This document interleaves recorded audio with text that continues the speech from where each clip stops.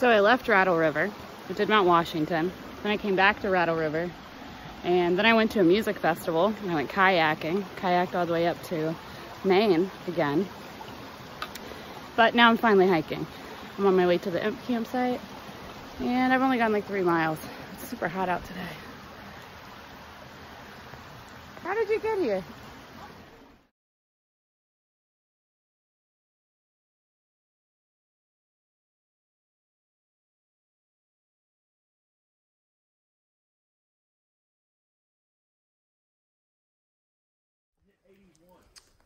Campsite. We're supposed to leave this morning to go hike the Wildcats, but it was rainy.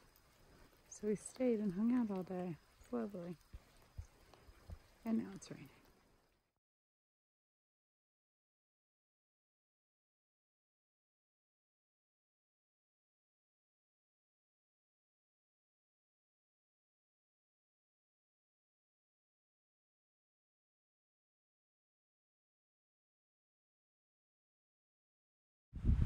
All right, we came from the Imp campsite today and we're going to the Carter Notch hut to hopefully do work for stay and get some delicious leftovers and sleep on their floor somewhere.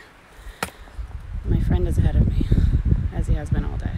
So I'm gonna keep going. It's been a really beautiful day. It's breezy, it's cool, it's sunny, everything you could want.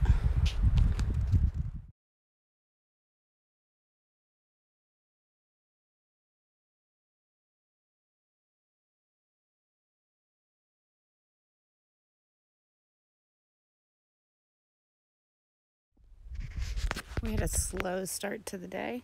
Um, we stayed last night at the Carter Notch hut. We did get to do the work for stay, which was super cool. Um, we just like swept the kitchen or the dining room area, cleaned up, and we had to sort the recycling, which was gross. Um, anyway, we slept in there. It was nice. Had a delicious dinner. It was really, really tasty.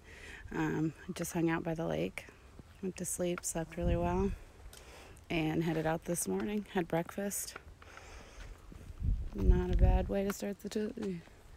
I think that's Carter Dome over there, I think. Yeah, I think that is. And then down there's the hut. You can see it. Yeah. So now I'm all the way up here.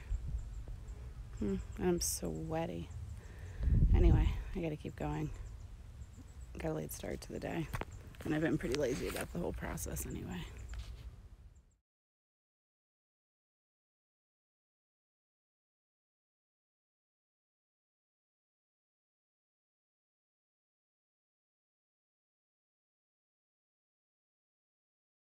I just climbed down that. I'm pretty sure that was not my best idea. Probably was a safer route. It was scary. I think that was Wildcat E, or it is E. Soon I will swim. Back to it.